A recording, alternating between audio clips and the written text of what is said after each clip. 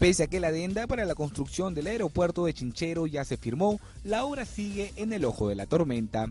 Y es que según este documento publicado por Ocitran en enero del 2016, el Consorcio Internacional Supervisión Valle Sagrado, conformado por Ayesa y Grañe Montero, ganó la buena pro para supervisar la construcción del aeropuerto de Cusco.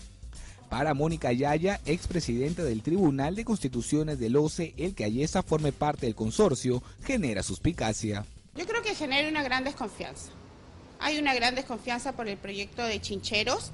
Ayesa es una de las empresas que fue impulsada por Belaún del Ocio para que gane los grandes procesos de selección en provincias.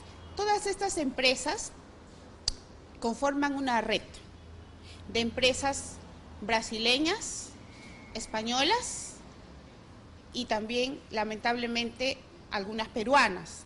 Esta red, según Mónica Yaya, sería nada menos que una red de corrupción. Esto trae, digamos, como consecuencia el confirmar que en realidad estamos ante una red de corrupción en el que las protagonistas han sido las empresas y también eh, en algunos casos algunos estudios de abogados que han manejado información privilegiada.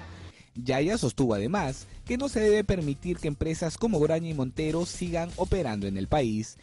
Yo creo que a empresas como Odebrecht, que han reconocido el otorgamiento de coimas, y a sus consorciados, que tienen que haber conocido la entrega de sobornos, debe retirárseles de no solamente del Registro Nacional de Proveedores, sino también debe eliminarse su inscripción en SUNARP, en registros públicos, para que nunca más vuelvan a ejecutar obras en el Perú. Los cuestionamientos acerca de la obra de Chinchero, lejos de terminar, parecen recién comenzar.